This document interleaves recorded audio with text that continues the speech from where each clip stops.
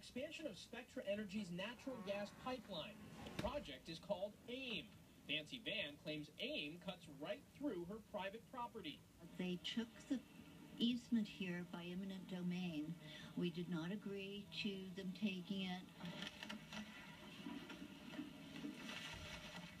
Chopper 4 was overhead as half a dozen protesters tried to stop the tree clearing, even climbing trees to halt the project.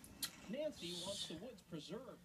She's also concerned about the environmental impact of having a natural gas pipeline next door. We're the ones that are paying the price for that with our health. Protesters also worry an accident on the pipeline could affect the Indian Point nuclear plant, less than two miles away. There are pipeline accidents that happen across the country, and uh, and and if one happens here, it's catastrophic. Spectra Energy officials say they've asked protesters to stay away from the construction zone, adding, quote, the AIM project facilities are designed and will be constructed, operated, and maintained to meet or exceed federal safety standards and regulations. Safety is at the forefront of everything we do.